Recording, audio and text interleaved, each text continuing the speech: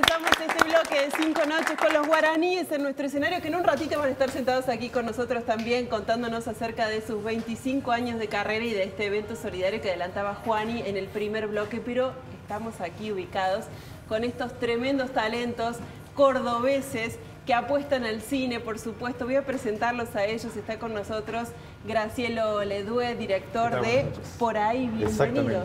Muchas, gracias, por estar aquí. ¿eh? Gracias por la invitación. Y un placer compartir también. Recién con estrenada.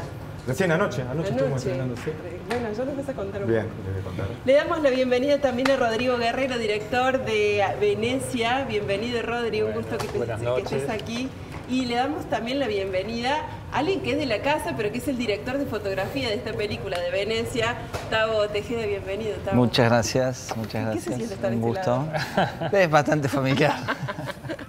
Bueno, vamos a casa. comenzar justamente presentándoles Venecia, también esta película que se ha estrenado en el Cineclub Municipal y que ha tenido una crítica excelente. Vamos a contarles de qué se trata y después, por supuesto, comenzamos la charla.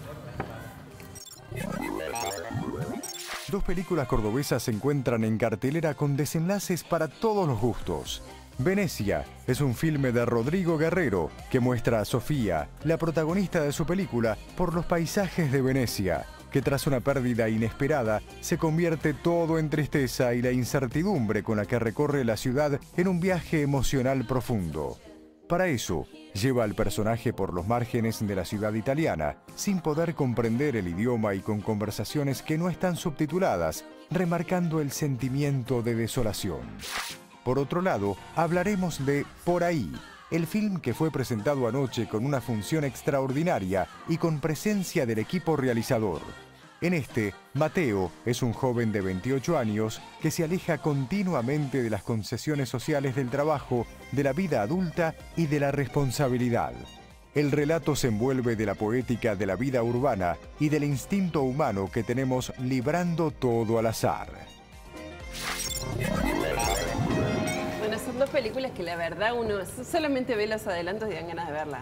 Bueno, Venecia ya fue estrenada hace una semana y con su director lo primero que se nos ocurre preguntarle es por qué eligió Venecia para filmar, por qué el nombre, por qué tan lejos, qué pasó ahí, cómo nace esta idea. No, bueno, en realidad la, la primera, y por lo cual decisión fue presentarnos a un concurso que organiza el Festival de Venecia y se nos ocurrió junto a Paula Lucy, que es la, la actriz protagonista de la película y que trabajamos la, la idea juntos, pensar una historia que sucediera en Venecia, ¿no? Y bueno, desde ahí a lo mejor generar algún atractivo. En ese concurso finalmente no quedamos, no ganamos cosas que, que Sí. suelen pasar, pero bueno, nos quedó el proyecto y la idea para seguir trabajando, para seguir pensando.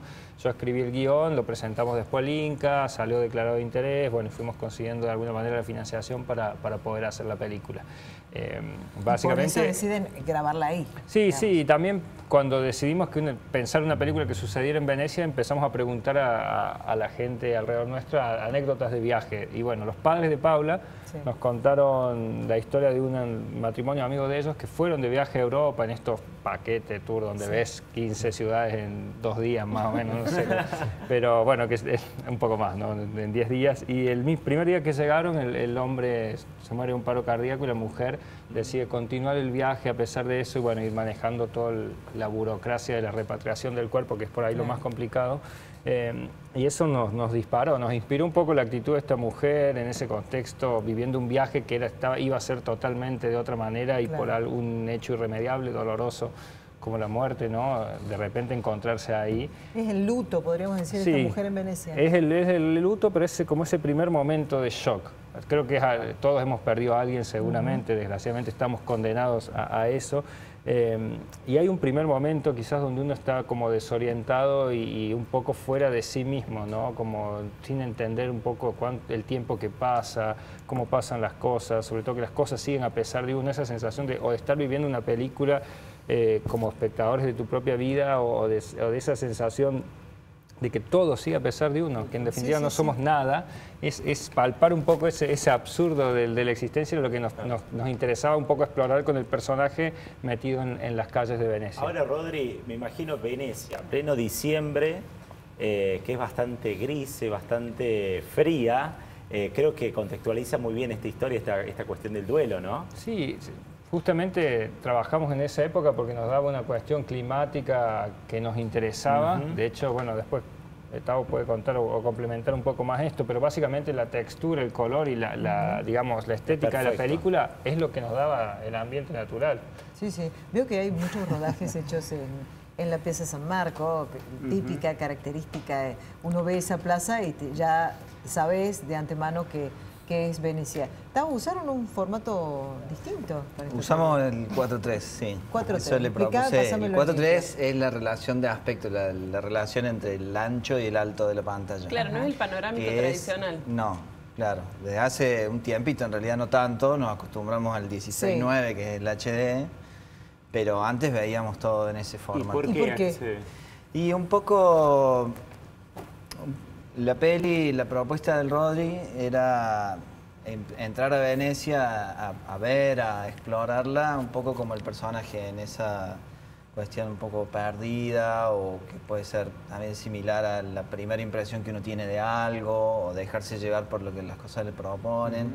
Y a mí eso me, trajo como algo nostalgioso de las fotos que yo veía cuando de mi familia. Había algo ahí en esas sensaciones que a mí se me cruzaron y jugando un poco en la pre de la peli, todavía no habíamos definido el rodaje, estábamos leyendo el guion, yo empecé a jugar con imágenes que encontraba en Venecia, yo no conocía, también la propuesta de la peli era, todo, ninguno del equipo conocía a Venecia salvo el Rodri, entonces tener como esa primera impresión, entonces empecé a buscar lo que tenía de Venecia, tenía que definir los colores y todo, y empecé a jugar con encuadres, a ver qué me que me proponían y encontré en el 4.3 algo, bueno, eso por ejemplo ves, es como una imagen más, no sé, más habitual por ahí, o es lo que yo encontraba. Claro. Y el 4.3 como que eso lo corría un poco, era como una visión particular y que estaba teñida como de algo para mí, medio nostalgioso y un poco de otro tiempo, de, con otro tiempo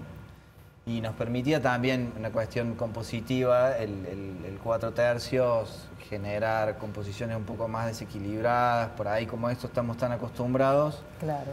Eh, siempre entramos cómodos en ese encuadre. Por ahí el cuatro tercios nos servía para bueno, generar también esa, esa sensación de, ¿Tuvieron un mes instalado donde? ¿En Mestre, en eh, Venecia? no, estuvimos cinco semanas en Venecia. En Venecia así que estábamos bastante... Bastante cómodos. Sí, percibiendo mucho el movimiento de la ciudad, ¿no? Hay algo que es una ciudad muy particular porque ya que no, que no haya autos, que no esté el ruido del motor todo el tiempo, que todo sucede en los barcos, la ambulancia funciona en barco, el cartero funciona en barco, la policía funciona en barco. La estación del año también te marca una ciudad distinta. Sí, sí, ¿eh? sí, eso nos pasó que hay gente que fue en verano y, la experiencia que tiene Venecia es totalmente distinta, incluso hasta por momentos desagradable porque es una ciudad con tanta, mucho calor, mucha humedad, el olor de los canales, cosas que nosotros no lo percibimos así. Sí, tuvimos mucho frío, pero fue, era como que todo contribuía al clima y al estado del personaje de una manera hermosa, digamos.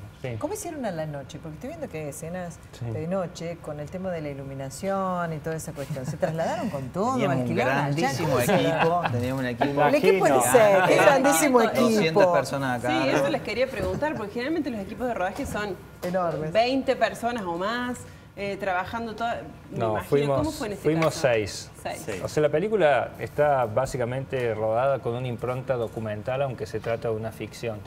Eh, siempre el diseño de producción que se pensó, que trabajamos con Lorena Quevedo, la productora, y al pensar la película y volverla posible, porque la realidad es que en Venecia se pueden filmar dos tipos de películas, o mega producciones, que empezás a cortar canales, meter extras, meter barcos, como eh, el agente 007 que se filma ahí, o películas muy pequeñitas como esta, que la posibilidad de ser seis personas andando por las calles, prácticamente pasábamos desapercibidos y no molestábamos a, los turistas o a la cuestión más eh, habitual de la ciudad. que pedir permiso? Sí, en la Film Commission vos pedís permiso, te dan una autorización, le vas avisando dónde vas a estar filmando, pero en, la medida que no seas más de cinco o seis personas y una cámara y un trípode, ah, no, no te jodes. ¿Y la gente cómo se, cómo se No, bien, pasa que están todos tan acostumbrados a, Hay gente sacando fotos y filmando todo el tiempo por todos lados, entonces... Sí, pero no es como pasan... En... Claro, no, nadie, prácticamente nadie fue a saludar a la cámara. Sí les llamaba la atención el, boom, el de sonido, que era lo que delataba la idea más de un rodaje, o hacíamos claqueta, en algún momento era como lo que por ahí la gente decía,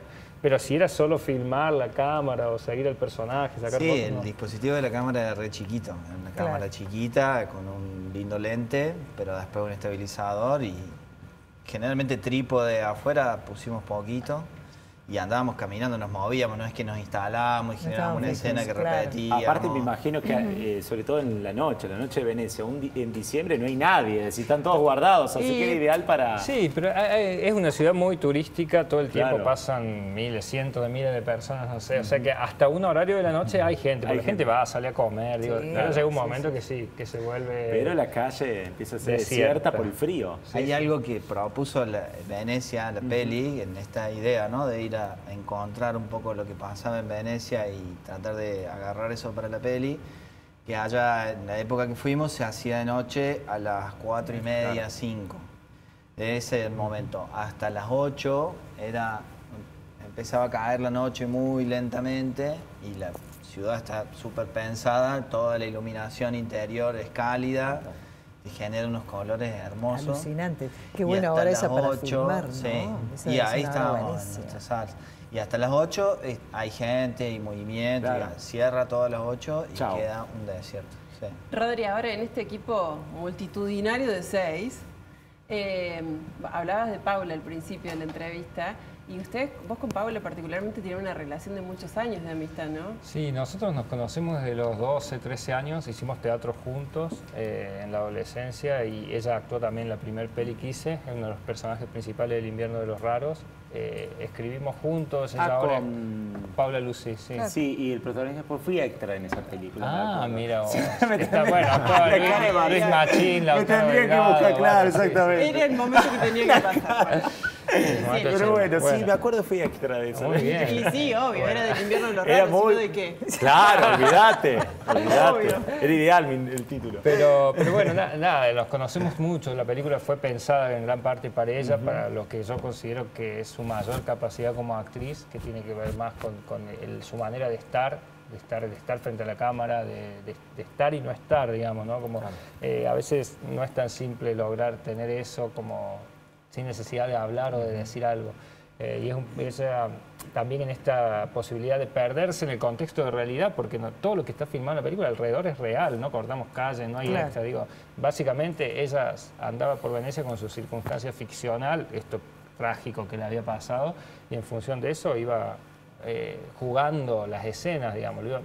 No respetamos tampoco el guion al 100%, era más un disparador, Claro. ge- generamos escenas nuevas que no estaban en el guion, Ahí recién vi una que me pareció buenísima, que es la de una pareja que viene caminando y que mira la cámara. Y que son, la verdad son extras, ni ellos deben saber que están saliendo en la peli, ¿no es cierto? Sí, y sí, que lo hacen muy bien, digamos. Sí, hay en la cámara también, en la cámara, en la peli una- un juego con unas tomas subjetivas que se pueden asociar al punto de vista del personaje y son como unos recorridos por las calles de Que Venecia. son ah, divinos, Callecitas que te perdés, que te metes, que entras, que de repente apareces o en el canal o en una plaza enorme después de no saber a dónde estabas yendo. Bueno, es, es muy particular. ¿Manejaban el idioma o poco y nada? No, muy poco. Lo hubieran llevado a Juan y chicos. Eso, Claro, no. imagínate. Ya la protagonista en la película se ve, de hecho, ella, el personaje, digamos, no habla muy poco inglés, no entiende nada de italiano, Claro. le hablan en francés, le gusta el francés, pero no entiende nada. Claro. Y nosotros estamos más o menos todos en la misma En la situación.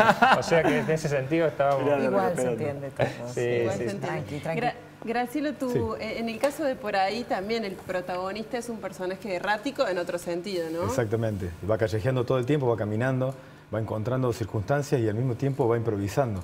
Una persona que va conociendo gente y que ese es, su, es como su, su día a día. Es conocer gente, vincularse con medio de una guitarra, que es su herramienta eh, vinculante, y de repente eh, no tiene otras, otras pretensiones en la vida, no tiene trabajo, no tiene familia.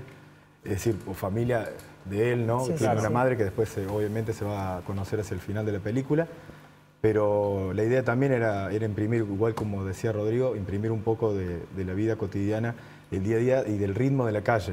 Eh, El personaje va transitando todo el tiempo en la calle y de alguna manera la, la- la pregunta que, que se encierra en la, en la misma película es eh, hasta dónde uno tiene que seguir con esas, con esas concesiones sociales y con esas obligaciones que de repente no le pertenecen a uno, Claro. sino que son dictadas. La película fue rodada íntegramente aquí en Córdoba. Exactamente. Hay una parte, la gran mayoría es en la ciudad y hay una parte por la trama que se va a las sierras.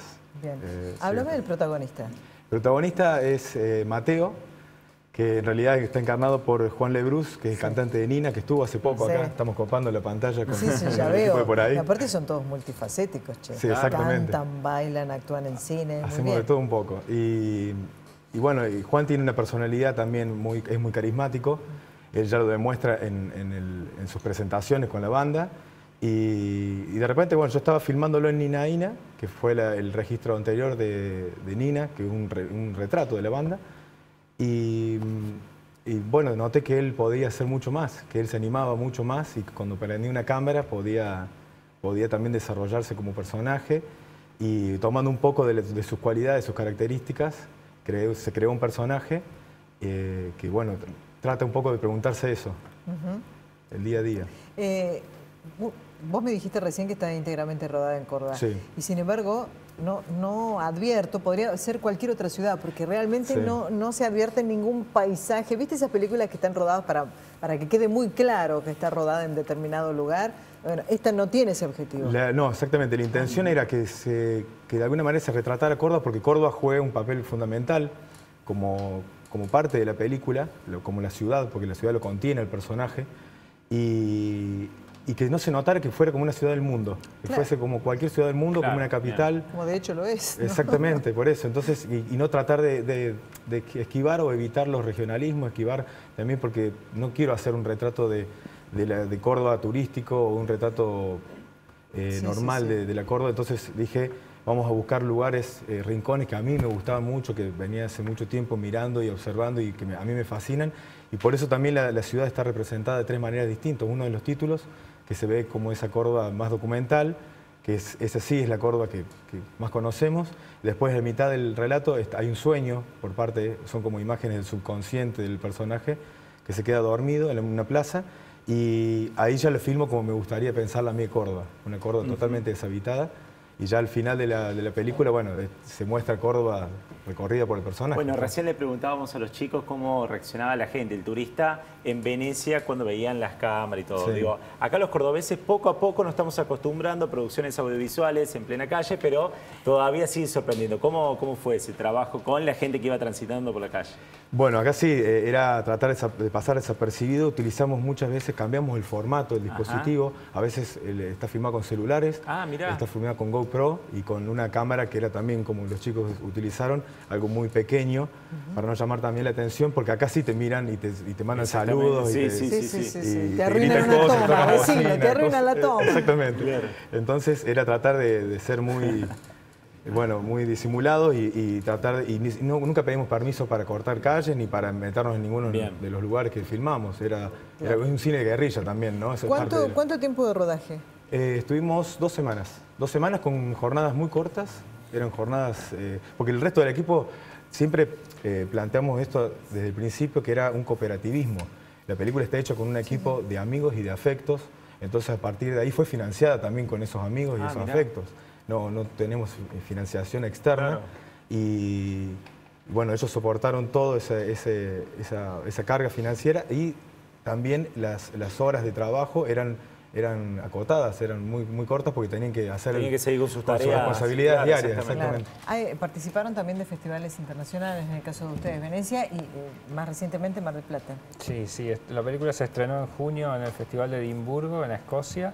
Eh, después estuvo en Sanfic en Chile, en Sao Paulo y bueno, finalmente acá estuvimos en Mar del Plata, así que hace poco, hace dos semanas. eh, Con muy buena crítica. Sí, nos fue bien, nos fue bien, ganamos unos premios en la sección donde estábamos, así que bueno, estamos contentos. Muy bien, y aquí en Córdoba también, Sí, el re estreno que fue eh, mucha gente. Lo que siempre decimos, apoyar el cine cordobés, el cine local, la mejor forma es ir a ver la película. Totalmente. ¿eh? Esa es la única forma de, de poder hacer que las películas sigan más tiempo en cartel.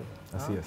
Bueno, que la película está en el Cine Club Municipal, ambas películas están en el Cine Club Municipal. No sé si tienen presente los horarios como para recordarlos. En realidad la semana ya concluyó. Sí, a mí Sí. y el de mí era una función eh, extraordinaria, así que sí. Tiene que reponer. Se va a reponer, por favor. Claro. Vamos a hablar con el programador de Cine Hay que para con que- Guillermo Vamos, Franco para que recuerde las por películas. favor, Hugo del Carril. Eh, nosotros vamos a estar en Espacio Inca Villa María la semana que viene, Bien. posiblemente en Unquillo y bueno, y en otras provincias también en enero posiblemente estemos en Buenos Aires, en el para- Por último, ¿están filmando, están pensando otra? ¿Estás con otro guion? Sí, ¿En estamos- qué andan?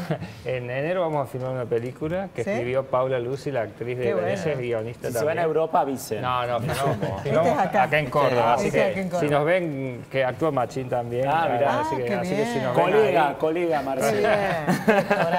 que si nos ven ahí con siete perros andando por la calle y él, somos Bien. nosotros. Muy bien, en el caso tuyo, También estamos en la preproducción de, una- de un cortometraje que va a ser eh, filmado enteramente en el barrio de Alberdi. Y todo sucede en una terraza, en una casa de- del barrio de Alberdi, y que tiene como tres instancias, es más cercano a lo literario, va a tener tres capítulos la película. Y bueno, vamos a tratar de también mezclar los soportes y los dispositivos de filmación y de registro.